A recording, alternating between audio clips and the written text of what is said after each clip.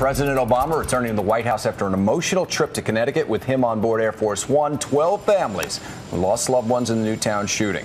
They had come to Washington to meet with lawmakers who flew back to New York to get new gun control measures. ABC's Ty Hernandez explains what's at stake. Good morning, Ty.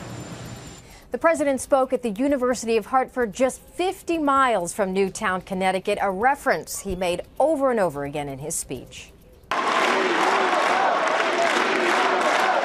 An enthusiastic crowd, President Obama evoked the dark days following the Newtown massacre, framing gun control not as a legal issue, but a moral obligation. Newtown, we want you to know that we're here with you. We will not walk away from the promises we've made.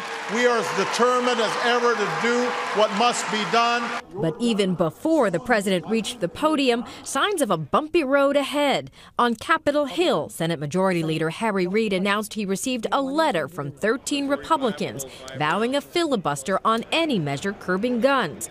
The bill currently before the Senate would expand background checks for gun purchases, add tougher penalties for gun trafficking, and more money for school safety, measures some Republicans say simply would not work. Even if you uh, had all your uh, universal background check, bad guys are going to get guns, and it's not going to solve the problem in the schools. In Connecticut, the president walking a fine line, insisting gun control is not about politics while trying to drum up political pressure.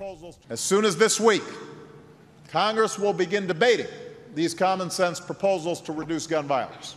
But much of Congress is going to only act if they hear from you, the American people. Congress will also hear directly from Newtown families. Several of them flew back with the president on Air Force One to Washington to continue the lobbying effort as it intensifies on both sides.